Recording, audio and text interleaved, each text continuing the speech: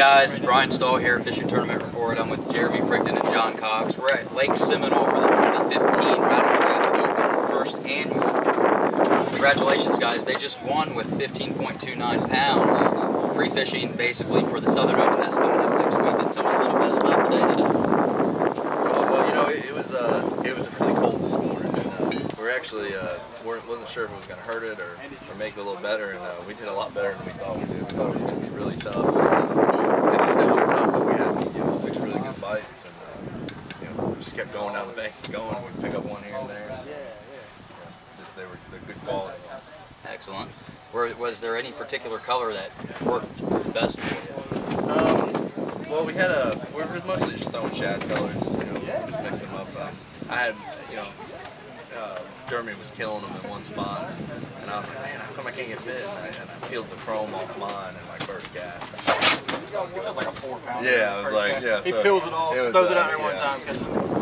hey, that works. You know, it, Yeah, uh, that was, that was pretty exciting. I, I know uh, a lot. A lot of times that bone color, you know, no paint, will really turn them on. Um, I know that's what won the Guntersville Rattle Trap Open this year. They had 25 pounds, and the guys fished the BFL the day before, didn't catch a single fish. Went out the next day and caught 25 pounds. Wow. So uh, it, it's amazing what that bait can do. Um, did you get to throw the new Echo 1.7? I did. I, I threw it uh, quite a bit. I threw it on, uh, on my uh, uh, CB 903. Oh, uh, it's crank and blank, Mason. Um, you know, I was making super long casts with it. We actually uh, trimmed the bill down a little bit so we could run it a little bit shallower.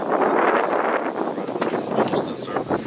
And uh, I mean, it worked good. It sounds good. We, we didn't get any on it today, but I can see where it's definitely going to come into play. Excellent. And for those uh, applications where anglers are throwing in, into hydrilla, if they need to get it a little bit shallower, they can also always go to that floating trap. Yeah, we, I was, I was kind of disappointed because when we were ordering traps for this thing, uh, you know, I looked at the floating ones and I was like, ah, you know, we probably won't need it, you know, and, and out there We could- today, we could've used it. Yeah, we definitely Yeah, could we have used it. So, well, what uh, what do you think it's going to take to win next weekend for the third stop for the Southern Open?